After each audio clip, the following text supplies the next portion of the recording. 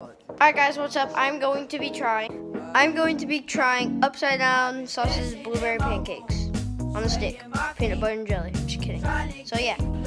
Halfway there. Oh wait, we're actually almost there. Okay guys, it's time to try this blueberry thing. Dingling thing. I don't even know what it is. I forgot. Okay, so let's get right into it. Yeah, so let's go. I'm gonna tell you how it tastes.